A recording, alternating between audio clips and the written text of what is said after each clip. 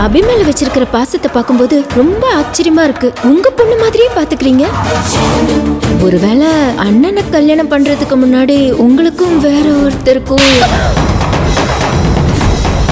மீனா என்ன தைரியம் இருந்தா நீ அவளை அடிப்ப. அபி உங்க பிள்ளைக்கும் எனக்கும் தான் பிறந்தாளா? இல்ல அபியும் நானும் நாளை மாலை ஆறு முப்பதுக்கு உங்கள் சன் டிவியில் காணத் தவறாதீர்கள்.